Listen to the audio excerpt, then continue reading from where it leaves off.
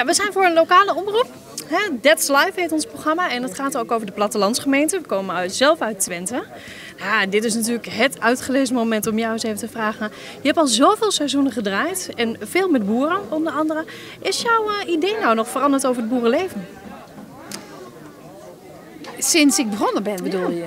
Nou, nou, nee, het is niet zo dat, dat ik nu ieder eh, seizoen heel anders ga denken over boren. Ik kom er wel eh, in min, ja, je gaat wel steeds meer weten. En je duikt er steeds dieper in.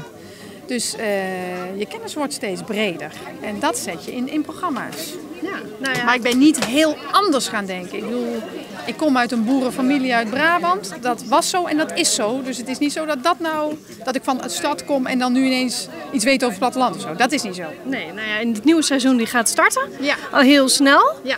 Ja, zijn er nog hele verrassende elementen we echt moeten kijken? Ja. Vertel. Nee. Oh, Nee. Maar ik denk echt, je valt van je stoel. Je, val, je gaat van je stoel vallen. Heb ik, doe ik voortdurend. maar het is, eh, ja, het is zeer verrassend, heel grappig bij tijd en wijle, ontroerend, schrikbarend en onverwachts. Dus ga kijken. We gaan zeker kijken. Heel hartelijk dank. Veel plezier vandaag.